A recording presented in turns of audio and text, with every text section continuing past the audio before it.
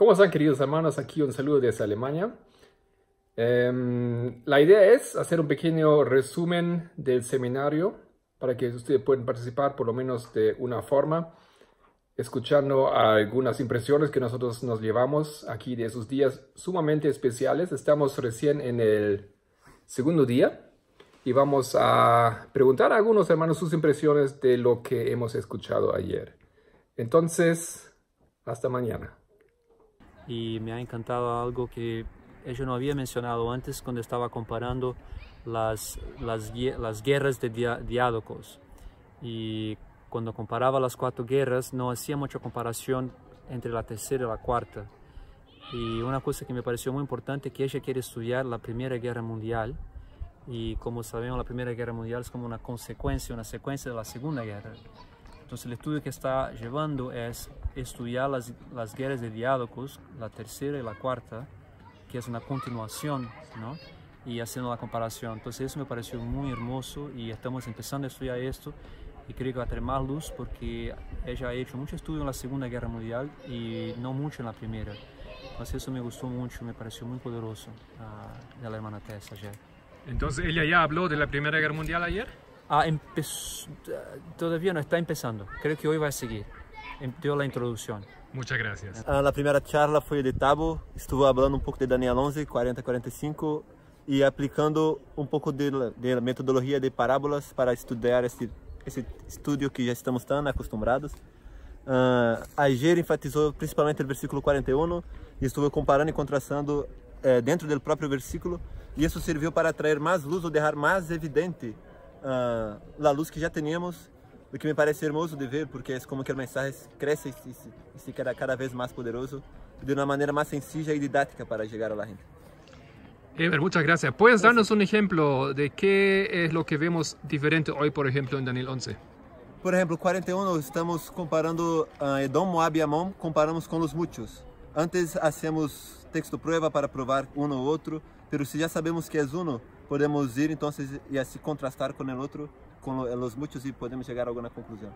Um, se los se Edom, Moab e Amon escapam, os muitos, por contraste, têm que não escapar. Então, se, se escapar é se, se chegar à verdade, uh, ser capturado ou, ou cair, que são o que passa com os muitos, seria ir ao erro. Por exemplo, é um de, los, de algo que surgiu de o que aclarou, se aclarou com, com essa comparação e contraste. Super, te agradecemos. Claro.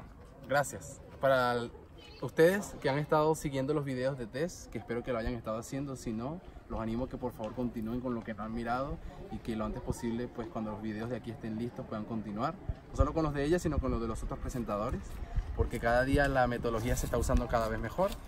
Eh, si yo quisiera resaltar algo, sería confirmar, tal vez algunos han escuchado rumores, tal vez algunos ya han visto algún video, pero ciertamente hay muchas cosas nuevas y bueno, le pido a ustedes que puedan estar en oración para siempre poder recibir esas cosas que son diferentes de la mejor manera, como son por ejemplo temas respecto a las fuentes de información, qué importancia tienen personas allá afuera en el mundo que aunque no lo creamos o no lo entendamos, sí están haciendo la obra de Dios, aunque ellos no lo saben.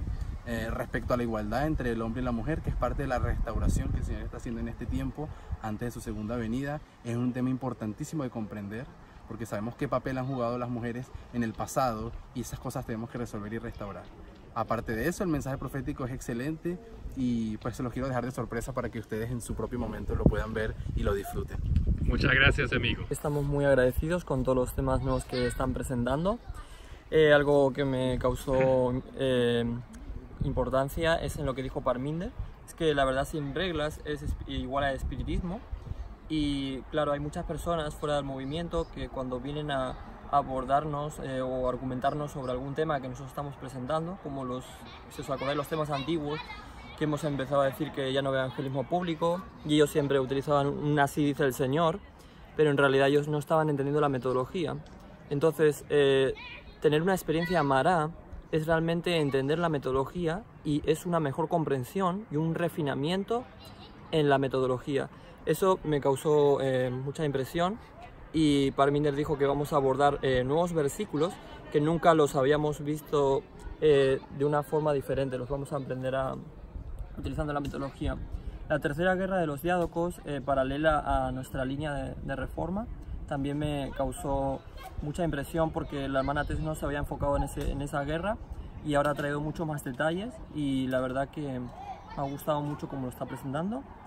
Eh, me gusta mucho cómo se están presentando los temas, los estudios y, y cómo está viendo toda la luz eh, en los hermanos y en nosotros. Así que estamos muy agradecidos. Muchas gracias, Marcel. Tenemos Oh. aquí nuestra querida hermana Raquel de Venezuela también. Sí. Eh, una pregunta. Usted tuvo una experiencia especial y breve con la hermana Tess ayer. ¿Se nos comparte? A ver, ¿qué? ¡Ay! La de la traducción. Dale la traducción. Oh. bueno, bueno, es que yo pensaba que podía ayudar a traducir, pero resulta que no puedo ayudar a traducir. Y esta mañana alguien me decía, pero podías usar un app que te ayuda a, a, buscar rápidamente. Y yo pienso, bueno, pero es que no soy muy buena con eso de las tecnologías y manejar el móvil y el laptop me cuesta un poco, o sea, soy un poco lenta y eso. Y mm, mi hija me dice, bueno, si puede ser que de verdad no puedes traducir. Y entonces me puse a pensar y yo decía, bueno, la verdad es que tengo que aceptar lo que puedo y lo que no puedo, qué talentos tengo qué talentos no tengo. Y por eso mismo quiero pedir a todos nuestros hermanos que hablan español que tengan por favor paciencia tolerancia y mucho agradecimiento al Señor porque tenemos gente que está traduciendo estos eh, seminarios, estas clases y lo está haciendo muy bien. Ayer estuve porque un hermano me pidió que por favor chequeara cómo estaban las traducciones y estaba escuchando en inglés y estaba escuchando en español y, y yo pensaba, oye, traduce muy bien, oye, traduce muy bien cada vez, una y otra vez pensaba lo mismo. Y después que me pasó lo que me pasó, que empecé a traducir y luego me trabé y me quedé enredada con tantos nombres raros, eh, porque era la traducción de Tess y ella pues lleva el asunto con estos nombres en griego, o supongo que es en griego o en latín, no sé, son muy difíciles para nosotros.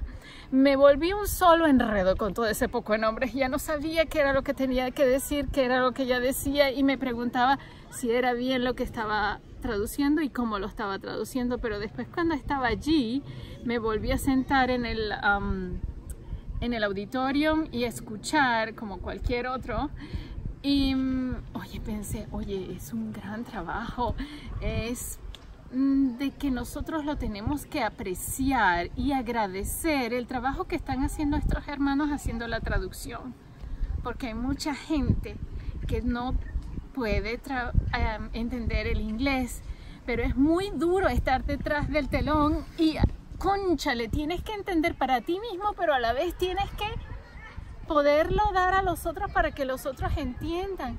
Eso es difícil, hermanos, y créanme, yo ahí agradecí a Marcos que llegó y saltó y estaba precisamente en el momento justo ahí para ayudarme a, bueno, como se dice en Venezuela, sacar la pata del barro. A ver si lo entienden, ¿no? Ok, um, hola a todos los hermanos. Yo quería comentar que a mí me impresiona mucho lo que es lo que la hermana Tess presenta ahora como lo que es la ley dominical para nuestra generación. La mala concepción que nosotros teníamos de que se basaba específicamente en el sábado, pero no vimos la amplitud de lo que tiene la ley dominical. La ley dominical, lo que ella explica, no es sobre el sábado, es sobre, sobre la igualdad, sobre la libertad de conciencia. Y ella explica que en eso está involucrado el tema de la vestimenta, de las mujeres usar pantalón o no. Está también involucrado el tema de lo que es el matrimonio gay. Um, ay, ¿Se me olvidó algún punto? ¿Me ayudan? racismo. El racismo, el sexismo, es, es, esos temas, ¿no? Sería, me gustaría mucho poder discutirlo eso con, con, los, con los chicos aquí que están y mañana esperamos poder presentar un foro más completo sobre esa área, sobre un tema específico y los invito a continuar siguiendo este pequeño blog de informaciones rápidas desde el campamento. ¿okay? ok, muchas gracias.